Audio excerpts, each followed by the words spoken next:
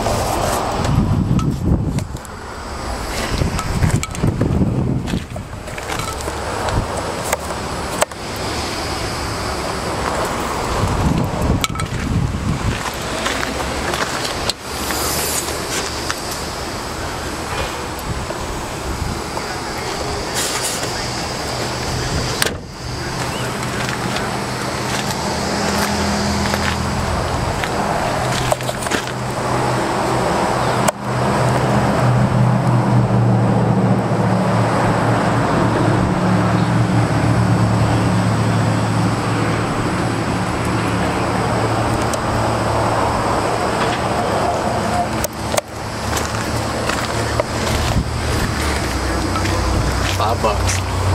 Not bad. So I'm at 85. So I said I'd give him 80 for the lots. well, that's what they quoted me the other day. Dude, I thought that was cheap. Yeah, I just figured I'd take a video of the old car for memory's oh, sake. And sorry, I don't want to be in. Oh no, you're fine. I'm about done anyways. There's only so much I can take footage of. Seriously, what's left of the damn thing? Anyway.